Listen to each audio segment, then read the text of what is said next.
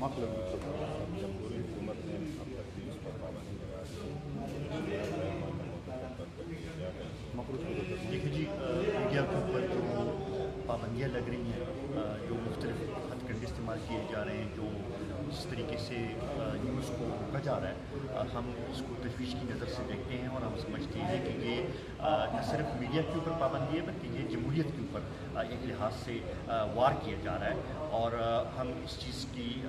مکمل مذمت کرتے ہیں اور ہم یہ سمجھتے ہیں کہ یہ قانون اور آئین کی خلاف ورزی ہے اور اس قسم کے اگر اقدامات یہ اٹھائیں گے اس سے اگر ان کا یہ خیال ہے کہ ان کی مخالف جو رائے ہے ان کی جو کارکردگی ہے وہ چھپ جائے گی میرے خیال میں یہ یہ کیا غلط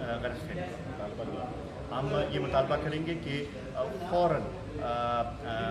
تک نیوز سے بھی پابندی ہٹائی جائے ساری میڈیا کے اوپر جو پابندیاں لگی ہیں وہ ہٹائی جائیں اور ایک ٹرانسپیرنٹ جو ہے طریقے سے میڈیا کو کام کرنے دیا جائے تاکہ حقیقت لوگوں کے سامنے آ سکے۔